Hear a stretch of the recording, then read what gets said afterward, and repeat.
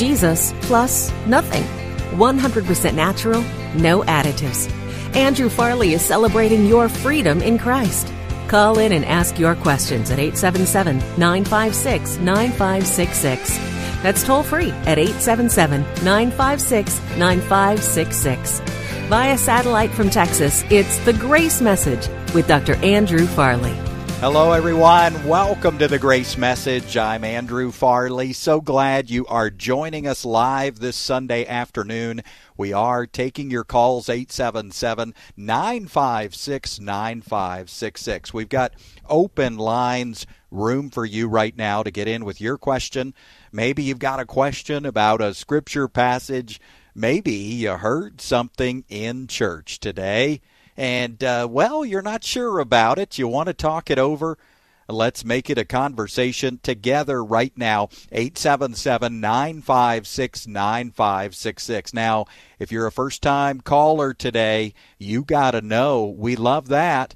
And if you're a veteran listener, maybe you've called in the past, you got something fresh on your mind today, join us right now. Open lines, room for you, 877 956 9566. All right, well, we're going to start out today. We got lines full at this very moment. We're going to jump out to Michigan and we'll talk with Ted. Hey, Ted, what do you got for us today? Yeah, hey. just on communion. Yeah. What, Hello?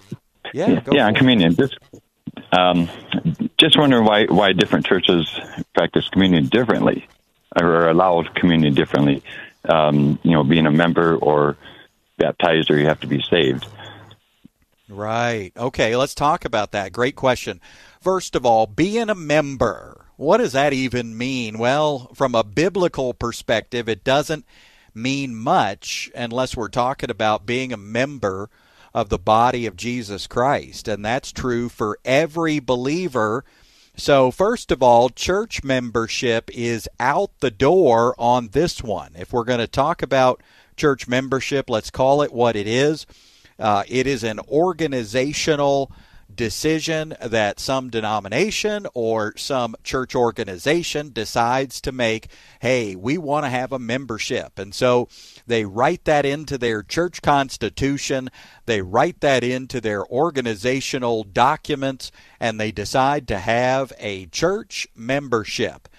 But 2,000 years ago, that did not exist. There were no 501c3 nonprofit organizations. There were no churches that were registered with the government. So, this idea of church membership is an invention. There's nothing necessarily wrong with it, but I just want to point that out.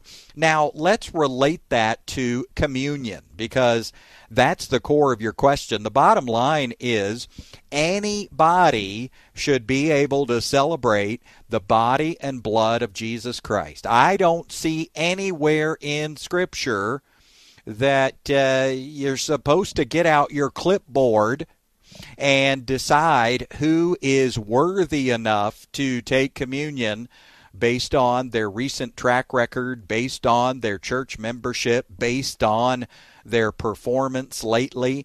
No, that is not what we see in 1 Corinthians chapter 11 where the Lord's Supper is discussed. So, as far as who can take it, I'm going to say God's really excited when anybody is looking to Jesus. I mean, God is really excited when anybody wants to celebrate the body and blood of Christ. So, you got me. I mean, you're asking why do all these churches why do they have certain hoops to jump through and certain requirements to participate in the Lord's Supper?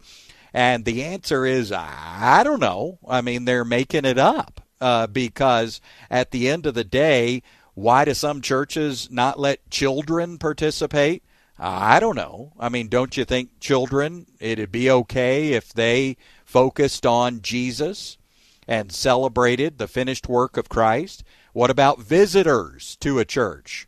Do we really want to say, no, no, no, no, no, not you? now. You cannot participate. We're not going to let you focus on Jesus today. So you have to let the cup pass, as they say. You got to let the Welch's and the Wonder Bread pass by while everybody else gets to celebrate Jesus except you. Why? Because you're a visitor. Oh, well, I'm not sure I'm a visitor for long then. I mean, what in the world are we doing? Turning people off to celebrating the Lord's Supper. So there was no such thing as church membership, Ted. That is a modern day invention. Secondly, there is no chapter and verse that tells us to turn away children from the Lord's Supper. Thirdly, there is no chapter and verse that tells us to turn away visitors or, quote, non members. Now, where did some of this come from? Because obviously it's not created in a vacuum, it's got a background to it. It came from somewhere. So, where? Well, when you look at 1 Corinthians chapter 11, you do see a passage where Paul says, a man must examine himself. All right, so we take those two words, examine himself, and we just rip them out of context, and we decide we're going to invent a way for people to examine themselves. And so, what comes next? Well, you know as well as I do, if you've spent five weeks in a church, uh, well, you've probably experienced this to some degree somewhere, and that is that uh, they're going to dim the lights on you and they're going to play the saddest music they can find. Oh my goodness. And then there's that woman. She's bawling her eyes out on aisle seven. She is trying to get clean and get close to God again before the Welch's and the Wonder Bread reach her row. Now, is that what God wanted? Is that what Paul is describing? Is that what he is prescribing for the church in 1 Corinthians chapter 11? No way. No way. We got people today who are trying to qualify for a supper that celebrates that Jesus qualified them. Did you hear that? I mean, you talk about irony. Oh my we are trying to qualify for a supper that is designed to celebrate that Jesus qualified us. Talk about irony. The enemy loves this. One of the greatest celebrations on the planet. I mean, you got water baptism. That's pretty awesome. That's a great celebration. You've got the Lord's Supper. That's pretty awesome. That's a celebration. And yet, here we are, dimming the lights, playing the sad music, inspecting our recent track record, trying to get clean and get close five minutes before we chug the Welch's grape juice. Now, is that what God had in mind when He said a man must examine himself? Of course not. Of course not. What He's really talking about here is the Corinthians were getting drunk at the Lord's Supper he says, What? Do you not have houses in which to eat and drink? Do you despise the church of God? Do you shame those who have nothing? What shall I say to you? Shall I praise you? In this I will not praise you. All right, so what's going on? Well, I just gave you the true context, the true context of a man examining himself. They were getting drunk. They were not eating at home first.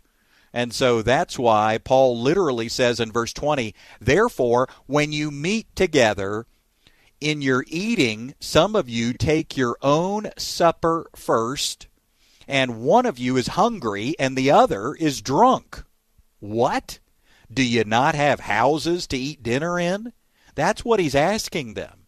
So get this. This is not supposed to be 500 people dimming the lights, bawling their eyes out. This is supposed to be a common sense look at are you abusing the Lord's Supper? Are you getting drunk? Are you eating up all the food? Are you waiting for the poor people who are showing up next? Or did you get there early and scarf it all down? Because if you did, then you need to examine what you're doing and you need to eat it and drink it in a worthy manner. Now, if you're listening to what I'm saying and you're following it, you have just discovered in Scripture that for 2,000 years, we have been twisting this. It has morphed into a supper of inspection and examination.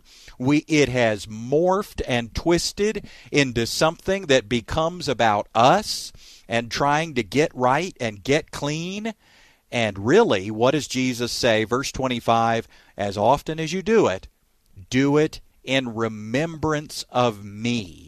It's about Jesus. It's not about us. And yet the enemy, the accuser, uh, he's great at making us, uh, well, shift our focus away from the Son of God. Then it's no longer about our Savior. It's about our sins. Look at me and how I've done lately. Let me get this cleansing ritual going because here come the elements. They're coming down the aisle. They've got the two trays, the bread and the wine. Here it comes. I better get right in three minutes or less. So we've made it about us. But in context, what does Paul say? He says there's divisions among you, there's factions among you, verse 18, verse 19. There must be factions among you. I hear that there are divisions among you. He says, Therefore, when you meet together, it is not to eat the Lord's Supper. Because one of you is taking his dinner first, one of you ends up drunk as a skunk, one of you is scarfing down all the bread. What? Don't you have houses to eat in? And so he says, examine your practices. That's what he's talking about. And that's why he ends this chapter by saying this. This is Paul's conclusion. This is God's solution to the whole thing. Here it comes. Verse 33 So then, my brethren, when you come together to eat, wait. Wait for one another. If anybody is hungry, let him eat at home, so that you will not come together for judgment. All right, do you hear the issue? I mean, the issue is they're coming together, they're judging each other. There's factions and divisions. They're critical of each other, and, and who wouldn't be? I mean, come on. If I showed up to your Lord's Supper, but I showed up 20 minutes early, I grabbed the two trays, all the bread, all the wine, and I went out behind the church building and just chugged it. I mean, just chugged everything down. You would say, wait a minute, Farley you know what? This is not appropriate. You need to examine what you're doing and you need to eat and drink in a worthy manner that is respectful of the body and blood of Christ. And then if I if I have my wits about me, I'm going to say, "Yes, you're right. I'm wrong. I have examined what I've done and it was drunkenness and gluttony and it was wrong." And there you have it. Case closed. But but this is not about 2,000 years of inspection that the church is supposed to be doing every week, every month, every time there's the Lord's Supper. We're not supposed to be sitting there in the dark, bawling our eyes out, wondering if we're pure enough to drink of the cup. That was never Paul's meaning. You're drinking from the cup because you are forever forgiven. You are eating the bread because Jesus is the bread of life. You are eating and drinking because it is finished. You are eating and drinking with confidence because He has qualified you. So, how about you turn that frown upside down? How about you smile and toast? How about you celebrate with heaven, celebrate the finished work of Jesus Christ. What if you're clean and close and qualified? And what if this is not about you trying to get right at the last minute? What if you can eat and drink with joy in your heart? Well, you can. you can because Jesus Christ has qualified you. So let's stop it. I mean, Ted's asking, he's asking, why is the Lord's Supper so different in every place? One place the kids get to do it, the other place the kids are turned away. One place the visitors get to do it, the other place they're turning away visitors. One place they apparently know who's saved and who's not, so they're saying Christians can do it, but don't let any seekers do it. Oh, yeah, yeah like we really want to be turning people away. Please do not focus. Do not look over here. Do not focus on the body and blood of Christ. Please do not participate. Is that really the message that we want to give people? I'm sorry, but I'm not seeing that. I'm not seeing it in the passage. I'm not seeing it in the New Testament. I would say to any human, look, bring it on. If you want to come meet with us and contemplate what did Jesus' blood do and what did Jesus' resurrection accomplish, come on, be a part of it. And you know, I have to reflect on why we have been so restrictive with people. Why are we turning away the kids? Why are we turning away the visitors? And here's what I think I think that we're doing it because we think that something new is happening for us at the Lord's Supper. And oh, the unbeliever better not participate because they're not allowed to have this effect.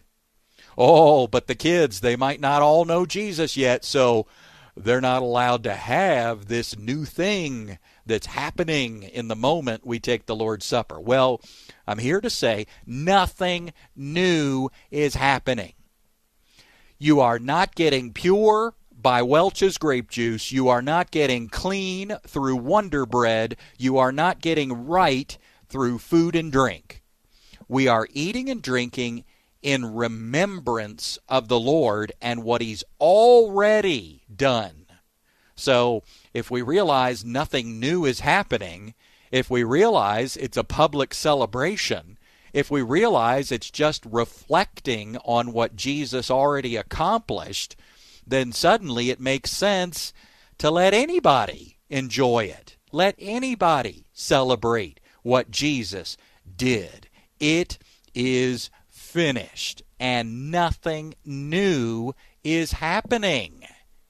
And you know what? Quite candidly, I mean, speaking of something new happening, I've seen people celebrate the Lord's Supper and then understand the gospel for the first time. Don't we want that? I mean, our pastors, teachers, leaders doing the Lord's Supper is a wonderful opportunity to share the gospel. Don't we want people paying attention and participating then?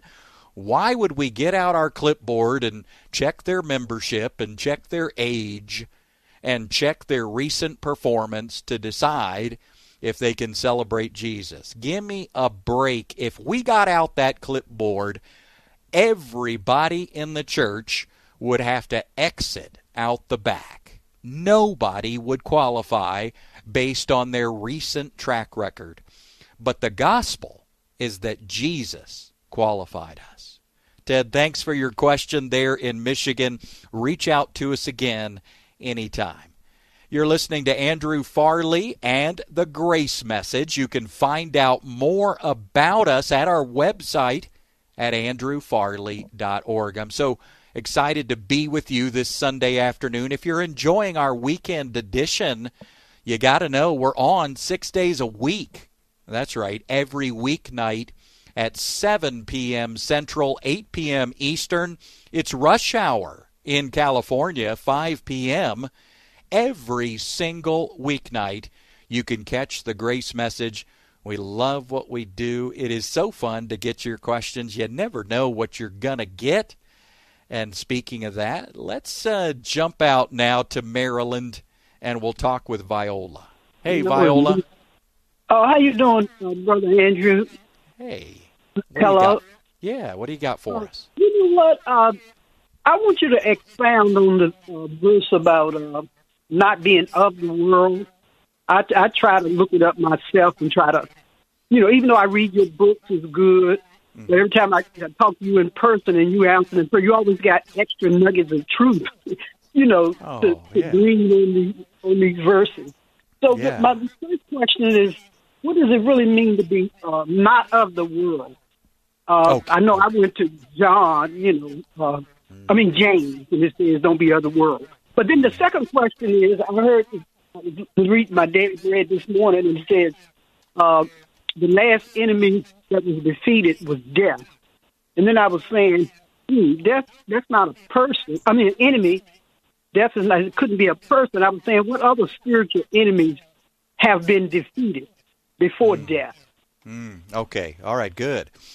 Well, first of all, you got two great questions there. I mean, are, are, we not of the world? Do we need to try to not be of the world? Uh, what's what's up with that?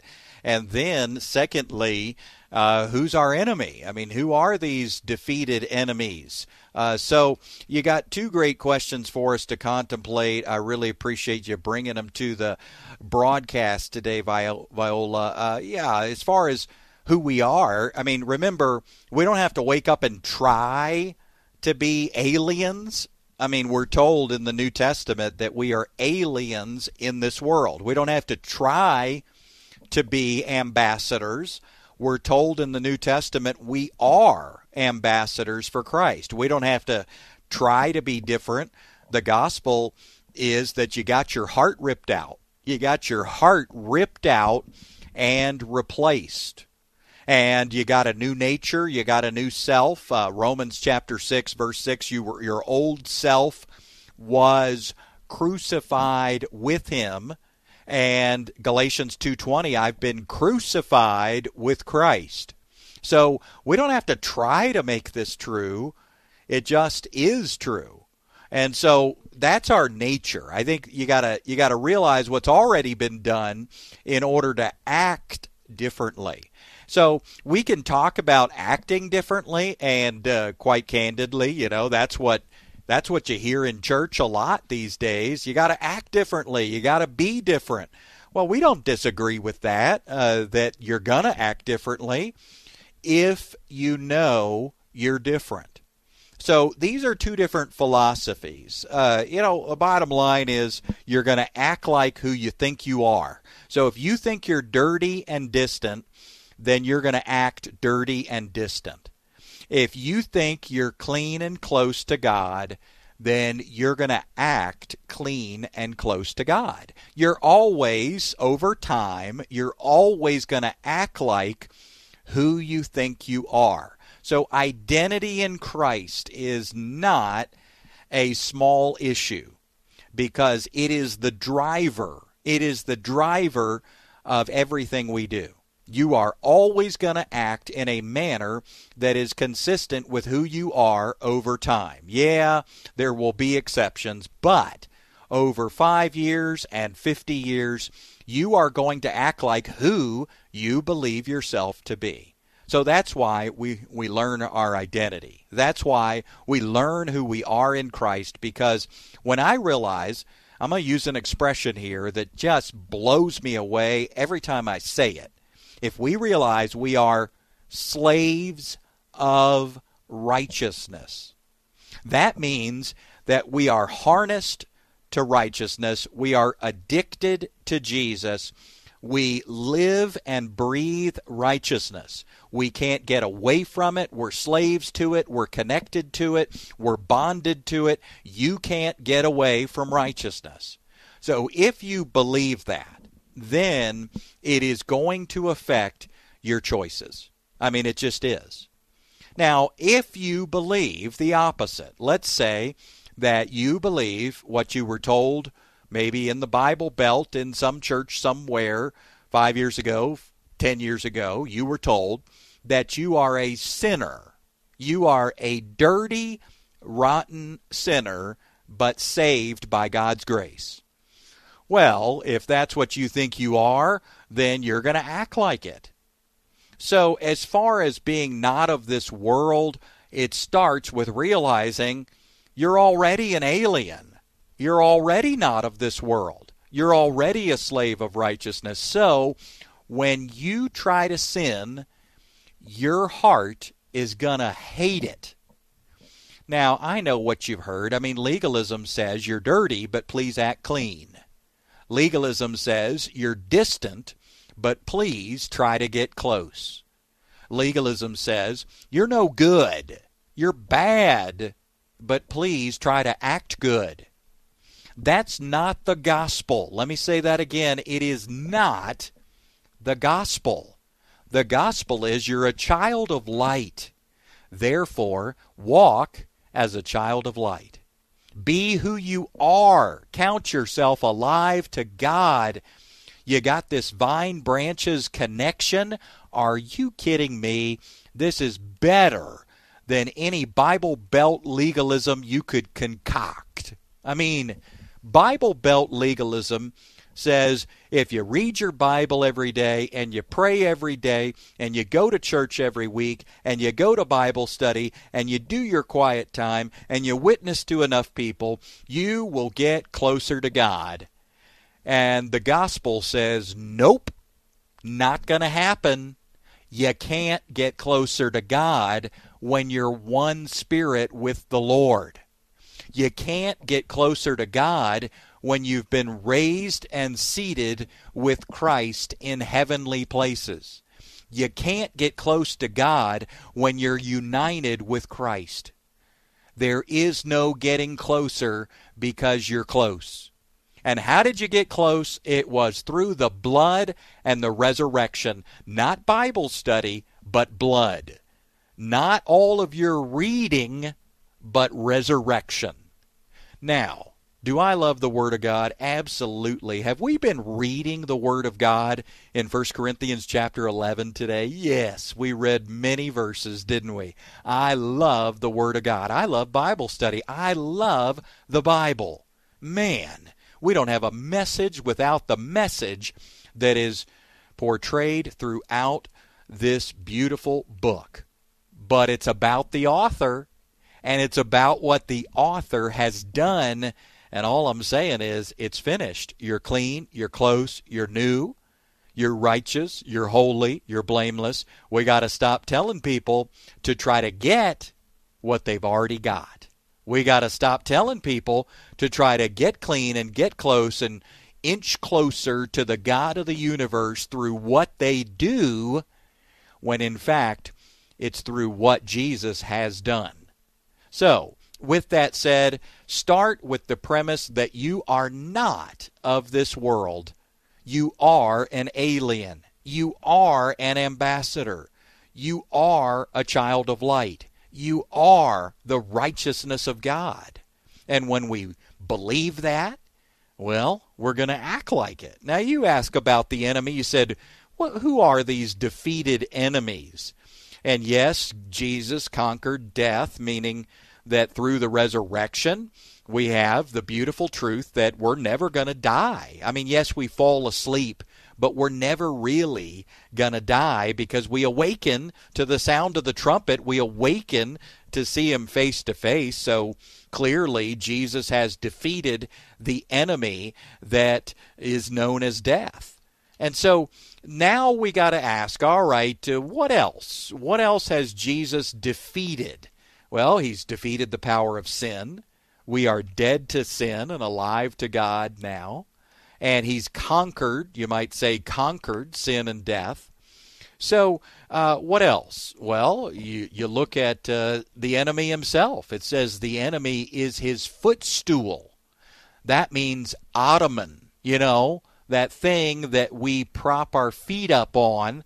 Well, Colossians 2 right around verse 15, talks about how the enemy is defeated. I like to say he's all bark and no bite.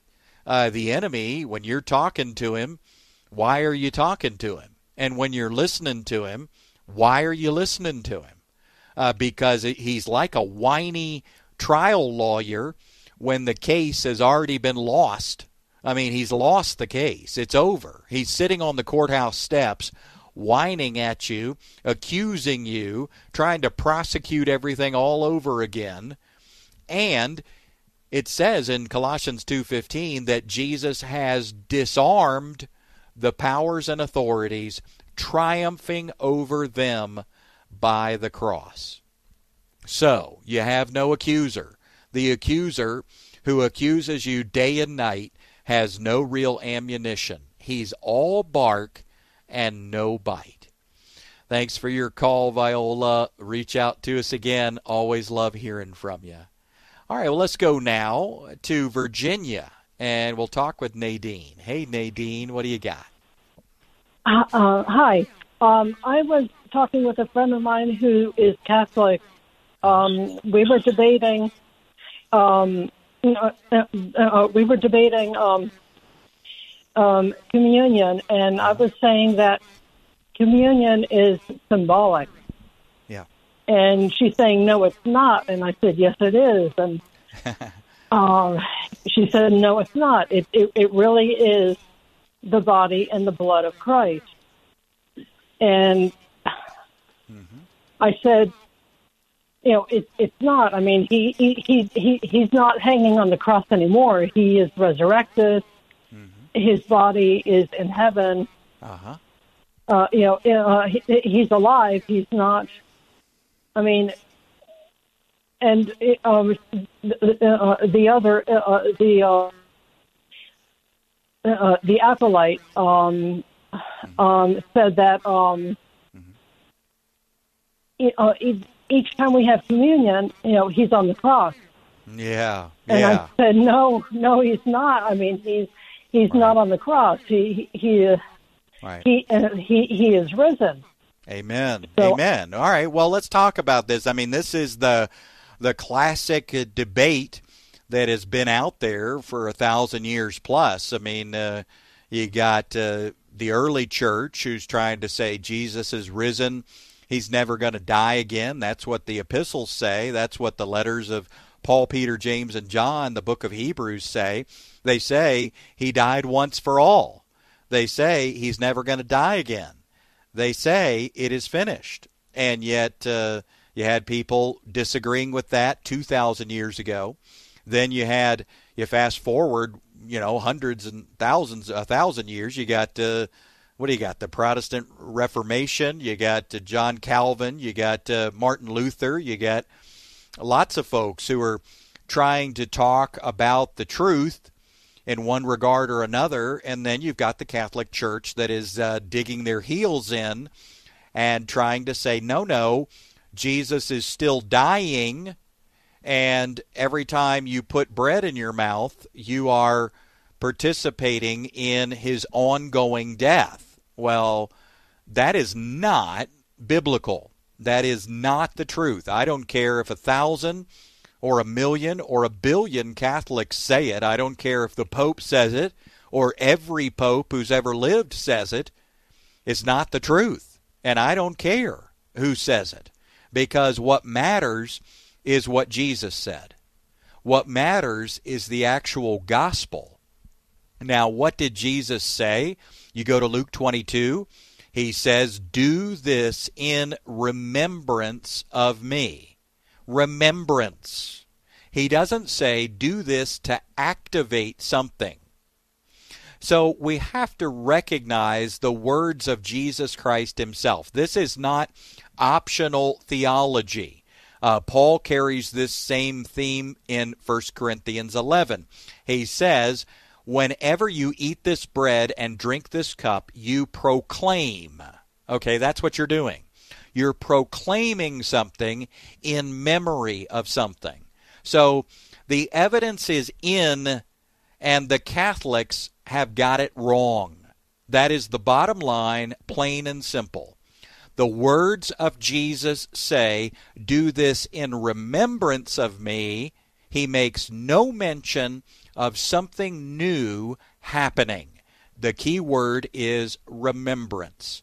Then in 1 Corinthians 11, Paul is saying the same thing at this Lord's Supper. You proclaim the Lord's death until he comes. You proclaim it. What does it mean to proclaim? It means to share it. It means to announce it. It, it means to declare it. You're talking about something that has already happened. All right? So then we go on. Let's talk about what brings life. How about John chapter 6? The Spirit gives life, the flesh counts for nothing. The words I have spoken to you, they are full of the Spirit and life. Jesus is making it clear that his Spirit and his Word gives life to us. It is not the physical consumption of bread and wine. How about Hebrews chapter 10? It says, But when this priest, Jesus Christ, had offered for all time one sacrifice for sins, he sat down at the right hand of God, and since that time he waits for his enemies to be made his footstool, for by one sacrifice he has made perfect forever those who are the holy ones. Now, do you hear that?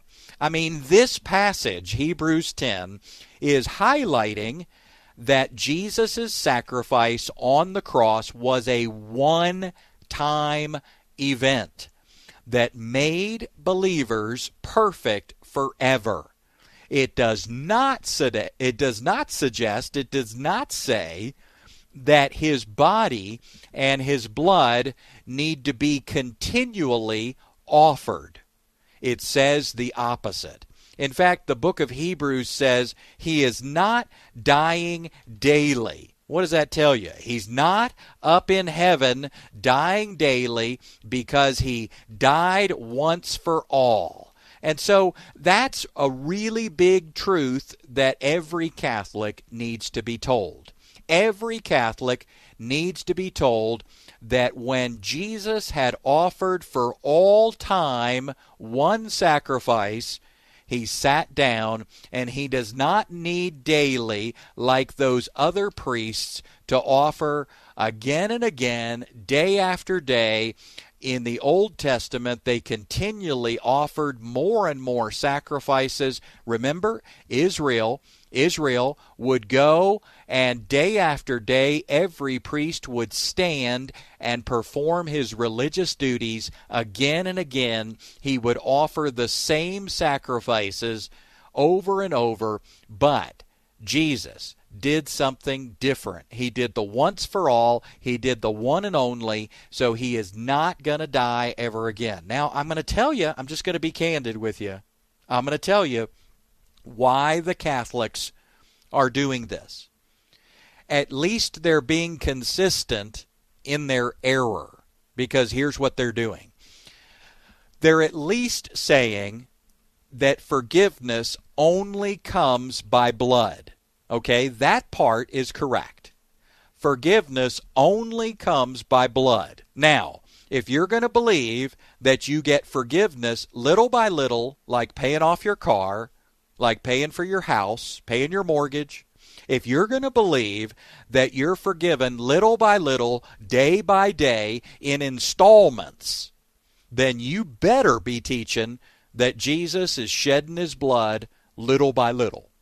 If the forgiveness is little by little, then the bloodshed better be little by little, because then at least you're consistent in your error. Do you hear that? So they are teaching little by little bloodshed and little by little forgiveness.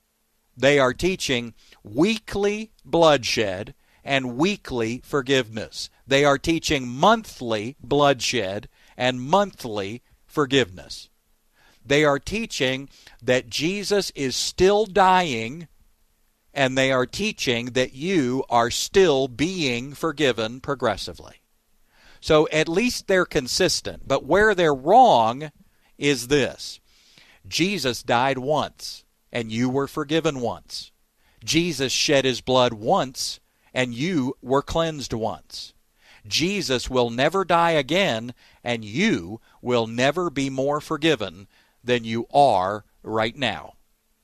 So that is fully consistent with the facts. It's true that only through bloodshed does forgiveness come. That's true.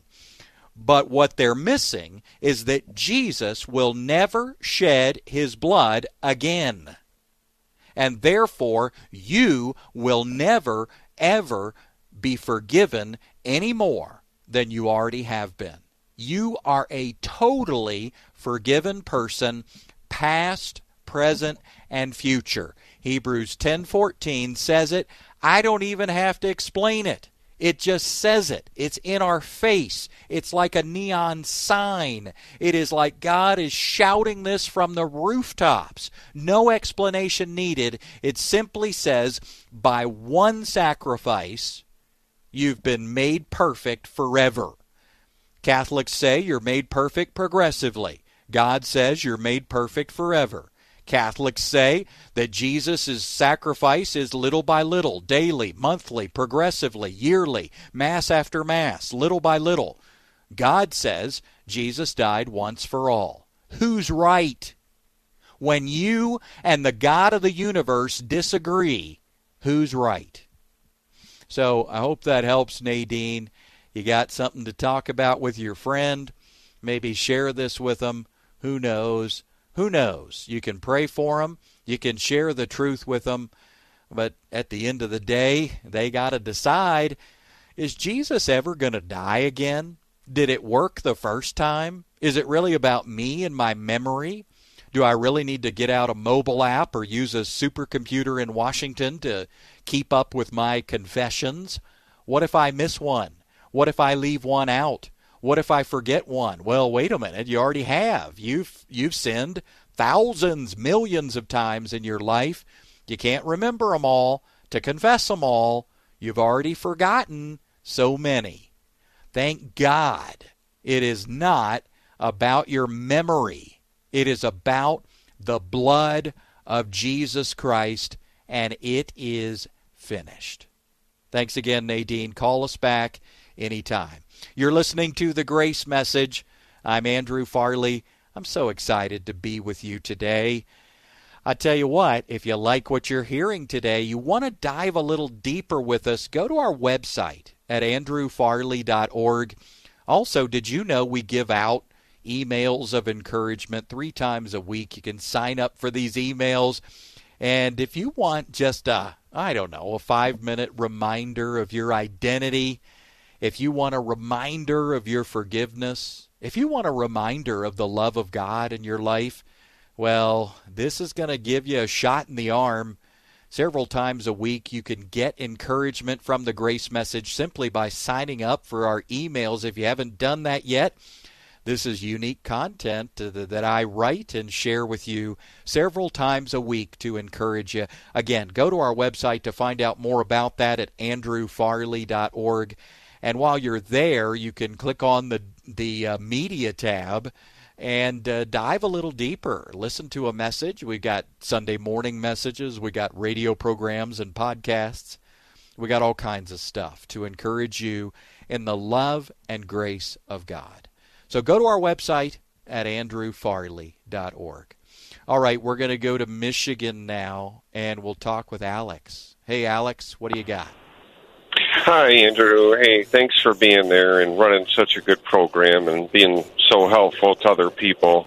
Um, I got a quick question for you, and uh, I don't want to go in the wrong direction, but in the Bible it talks about when Cain killed Abel, and I think, and correct me if I'm wrong, from what I read in the past, I believe where there's a part where uh, Abe uh, God said, Abel's blood cries out to me. Okay. Um, and again, forgive me if I got that wrong, but I, I could have swore I read that. Yeah. So my reference is today with you. The question is uh, people that have been murdered or killed because of somebody else, you know, just being all wrong, um, and they they never really got a chance to accept Jesus as their Savior. Uh, do you think that God, or is there any reference in the Bible that where God would uh, hold that a little different? You know, uh, I I know that ultimately, if you don't accept Jesus and you die, then that's it's it's over for you, right? But I guess that's where I'm at with this particular situation. You know, I mean, I haven't had anybody in my family recently murdered, but yeah. um, I'd like you to reference that for me if you could. Sure. Yeah. Okay. Well, I mean, the passage that you're talking about, Alex, is uh, Genesis chapter 4. It says, Now Cain said to his brother Abel, Let's go out to the field. And of course, you know what happens. I mean, they're out in the field, and Cain attacks him and, and kills him. And then uh, the Lord shows up on the scene and says to Cain, Where is your brother? And, uh, well, Cain lies. He basically says, uh, I don't know. and uh, he goes on. He gets a little chip on his shoulder. He gets defensive. He says, Am I my brother's keeper? And then the Lord exposes what he already knows. He says, What have you done?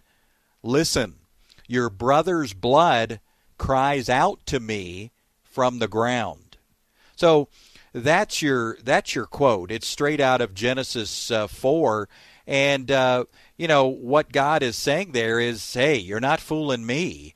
Uh, and uh, then you've got uh, you got the simple idea that you can't trick God. I mean, you can't hide around the corner and say boo and expect to uh, surprise Him.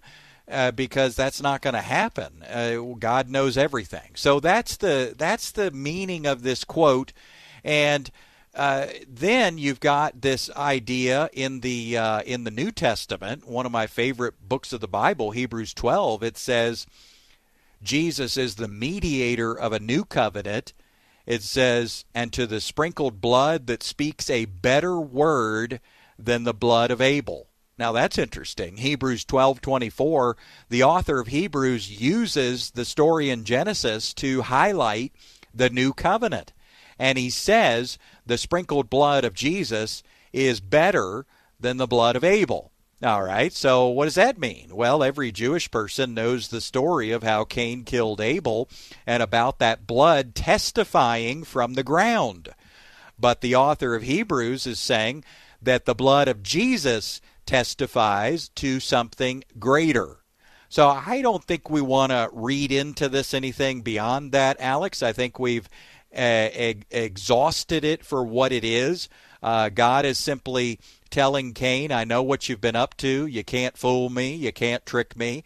And then in the New Testament, it is referenced because uh, Jesus' blood also testifies, just like Abel's blood testified, but to a greater degree. I mean, Jesus' blood testifies that you're forgiven forever. Jesus' blood testifies that you're clean and close to God forever. The blood of Jesus testifies that you have perfect peace with God. There's no barrier wall, there's no divide, there's no gap. We keep hearing things in religious circles today about how God might not hear your prayers if you've sinned too much. Hogwash, nonsense. The Bible doesn't say that. Uh, he is his ear is toward the righteous. His face is always toward us. Uh, even when we mess up, and maybe even most importantly, when we fail, we can approach the throne of grace with boldness and confidence. The blood of Jesus testifies. So, as far as your question about after death, I mean, there's no second chance of passage. You're not going to see anything like that. The book of Hebrews says that it is destined for man to die once and then face judgment. It doesn't say you die, then you get a second chance or two, and then you face. No, it says you die and you face judgment. So here's the thing I think we got to be in a position of gratefulness by just saying, look, God, I know that in the Old Testament, millions, I mean millions of my ancestors died with no hope. My ancestors were pagans. My ancestors were barbarians.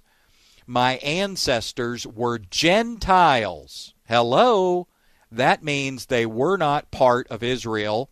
They did not know Yahweh. They did not have the Old Testament. They were not familiar with Abraham, Isaac, and Jacob. They were pagans, dancing around a campfire, asking pagan deities for a good crop. I mean, come on. Our ancestors, Ephesians says, they had no hope, they were excluded, and they had no God. So, here comes Jesus, the game changer. Here comes Jesus, the renegade. He's going to offer salvation not just to the Jew, but also to the Gentile, not just to Israel, but also to those dirty, rotten pagans like my great, great, great, great, great grandpa. Thank you, Lord. Thank you that there's even a chance. Thank you that there's even a way. Because it used to be that there really wasn't a way. I mean, sure, maybe a random Gentile like Rahab the prostitute, sure, she could put her faith in God. Next thing you know, she's justified. But for the most part, Ephesians says, those Gentiles, my ancestors and yours, they were excluded from the commonwealth of Israel. They had no covenant, no hope, and no God. So, does it really matter the manner in which we pass away? Does God say, oh, that guy was killed, therefore, uh, you know, I'm going to give him a second chance later? No, no, no. We cannot build a theology around that rationale. We cannot build a belief system around that. Now, at the end of the day, can we say God's heart is big? And I mean, look at David. Come on. He had a child that died in infancy. He had a child that died, and he says, uh, This child is not coming back. He says, This child is not going to return to me, but I will go to him. I will go to be with him where he is. And you know, when David said that in 2 Samuel 12, it's right there in verse 23. He says, Can I bring him back again? No. I will go to him. So David says, I'm going to be reunited with my infant son that died. How do you explain that? What theology box do you put that one in? Well, you just have to really fall back on the big heart of God. God God has this market cornered on justice and love.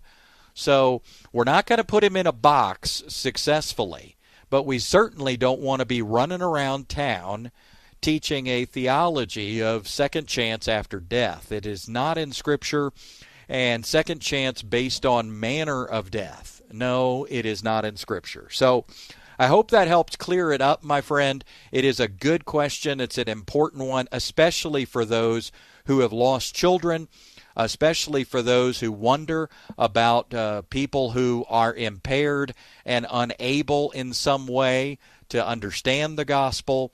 God's heart is big. His, his heart is bigger than ours. His mercy and love and forgiveness and grace are bigger than we could possibly imagine or dream up. So we can always fall back on the gracious heart of God, and we should. So, again, Alex, thanks for bringing this up. Reach out to us again anytime. Great question. Well, again, you've been listening to the Grace Message. I'm Andrew Farley. If you like what you heard, you want to support the Grace Message, go to our website at andrewfarley.org and give your gift today. Oh my goodness, we are so grateful for your support. We cannot do it without you. Thank you. Thank you. Thank you for loving us in this way and helping us reach even more people. For more information on the broadcast ministry of Dr. Andrew Farley, please visit andrewfarley.org. That's andrewfarley.org. Join us next time as we invite you to celebrate the grace message with Dr. Andrew Farley. This program is sponsored by your